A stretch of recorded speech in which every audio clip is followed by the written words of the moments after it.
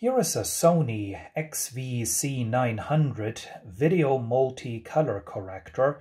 This is quite a complex piece of analog video equipment made in 1990 according to the date codes on all the ICs.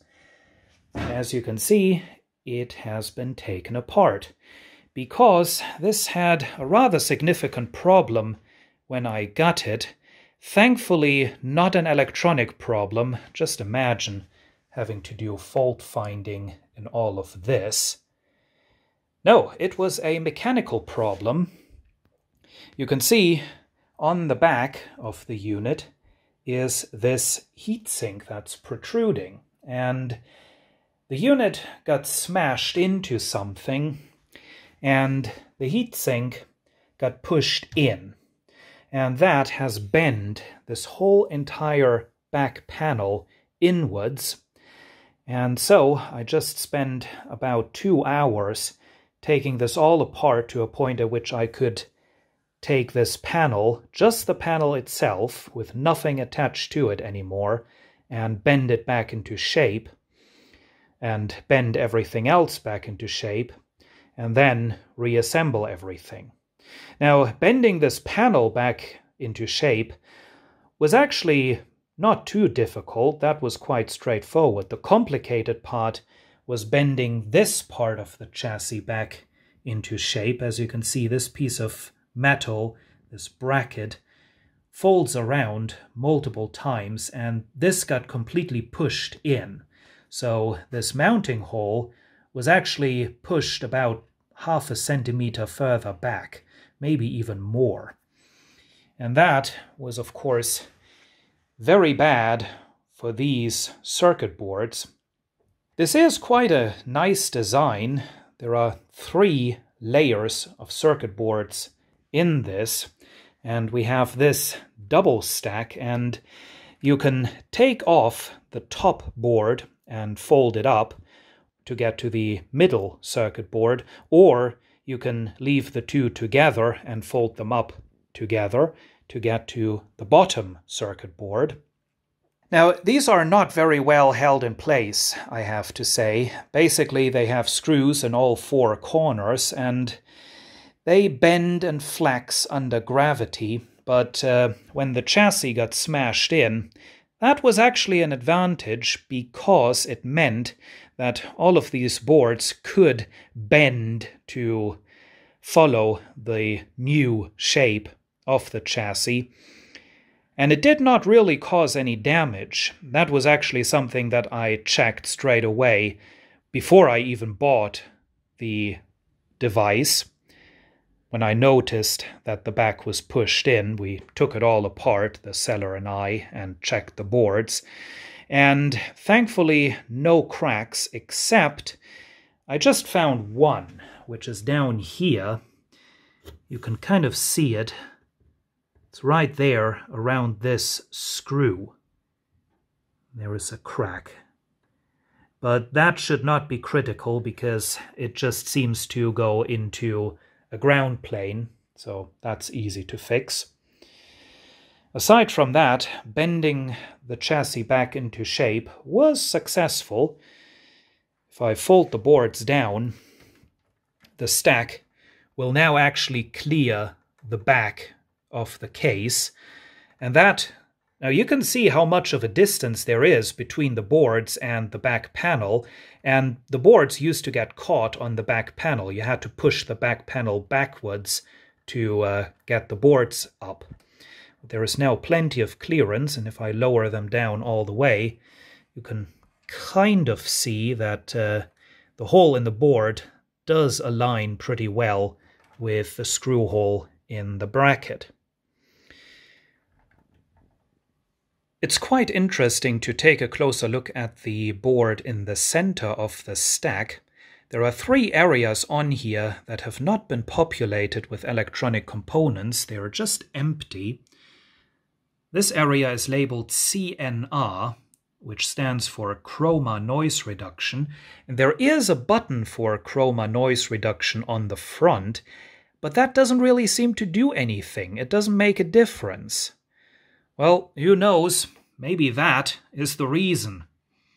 Also, there are these two areas, YC separate and YC mix.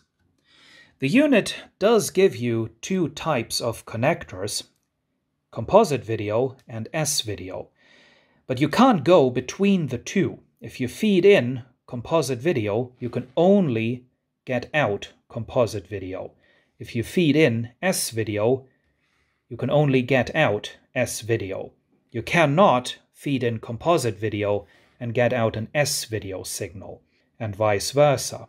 And I'm pretty sure if these two areas had been populated with components, that would have been possible to go between the two types of connectors. Also on this board is this strange array of holes through the board.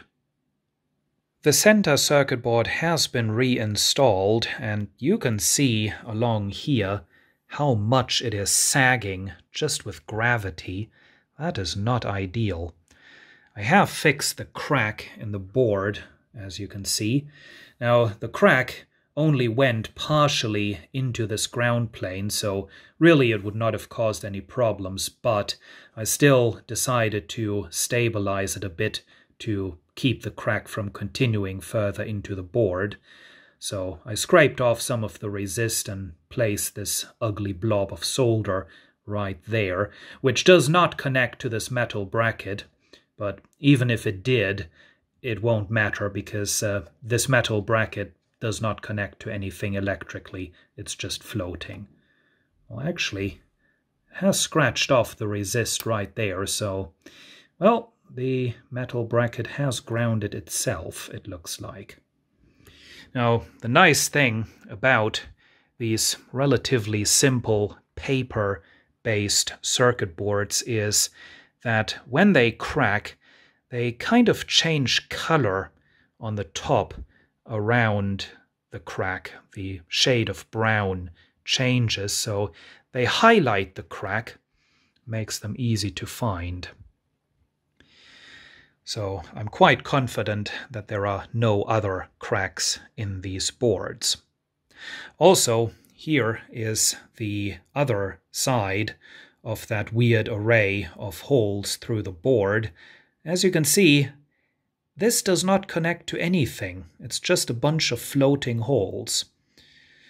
It might have something to do with this shielded section on the board above, but, well, this is not even grounded, so I have no idea what Sony was thinking there. And just as I was getting ready to put the unit back together, I noticed another problem. This capacitor has a bunch of crap and corrosion leaking out of it, so that will have to be replaced. Now this capacitor is part of the wipe pattern generator, so I guess that is the reason why the circular wipe really didn't work very well when the unit was cold. This is an Elna capacitor, there is another one very similar to it over here, but that seems to be fine.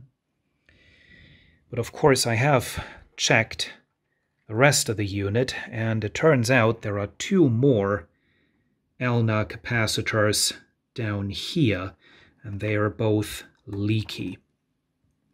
So these will have to be replaced as well, which is going to be a bit of a pain because they share their holes in the board, with a resistor and an integrated circuit, so these must have been a bit of an afterthought.